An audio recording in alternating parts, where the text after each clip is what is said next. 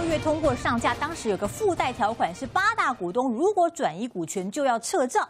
今天立委陈娇华指控说，静电视的八大股东根本就是人头代持股票，甚至他还直接点名陈泰明坦言已经卖出股权，他还说查金流就知道。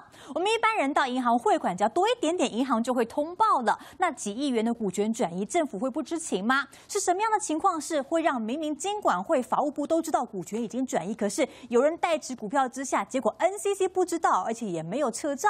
如果说陈娇华讲的是假的，政府为什么不告他呢？难道真的是因为进电视是执政党的电视台不能撤照吗？世成哥，哎呦，想知道就知道。我有个朋友欠银行钱，最近这个不是退税吗？他说：“哎呦，有退税，我有好几万块钱。”结果一查没退，为什么？银行先把你拿走了。你连退税银行都知道了，更何况这些金流，对不对？你看，我跟你讲，我们政府单位啊，真的很优哎。我想让你让你活，你就往上；我想让你死，像中间就死得很很很凄惨。今天是当时怎么通过的？各位记得吧？那一天有一个反对的确诊，然后呢就开会，结果呢这个三比三，后来陈耀祥自己跳下来说 OK 没问题，就上架了。我想让你上架就上架啊！我想一下架，中天那个可能还没有开会，中天就决定要把它撤照了，就这么简单呢。静电是从开始，从那个裴伟那个录音带到现在，有多少问题呀？多少问题在？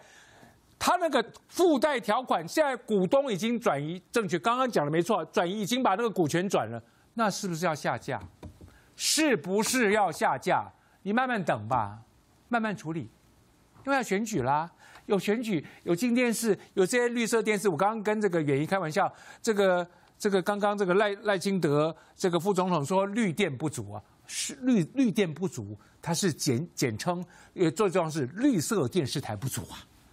所以我们现在绿色电视台通通通通上架，那些中天这个忠实监督，我监督我们这个执政单位的全部下架。大家晋升啊！还有刚刚盛峰老师说的，还有那个什么什么什么什么那个这个宪兵啊，包括那些呃军队啊啊，不那个那个那个部队成立啊。我刚刚开玩笑说，我以后以后啊，这个现场节目不能上了。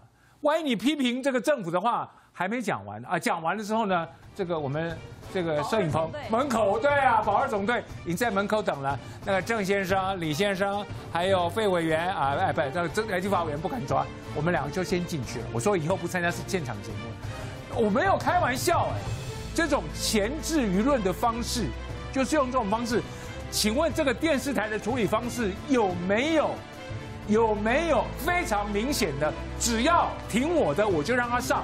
什么样都没有关系，实质违法都没有关系，只要是反对我向中天，我就扣你个莫须有的罪名，就让你死，这就是。